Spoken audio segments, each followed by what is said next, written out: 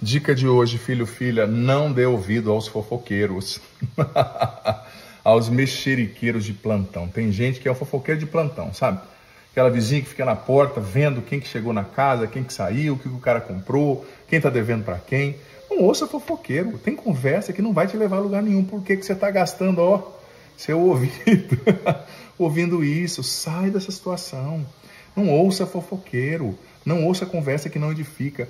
Guarde os seus ouvidos para aquilo que traz sabedoria, para aquilo que te edifica, para aquilo que te faz bem, para aquilo que te torna mais amigo de Deus, entendeu? Deus sobre você e sua família, sobre a água, a bênção do Senhor, Pai, Filho e Espírito Santo, amém. Digita aqui agora, eu quero ser uma pessoa melhor. Eu quero ser uma pessoa melhor. A nossa frase hoje, testemunho público de fé.